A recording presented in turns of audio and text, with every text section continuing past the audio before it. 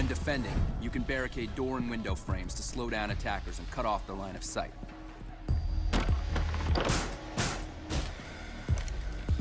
You have an unlimited number of barricades, and can barricade as much as you want to secure your position.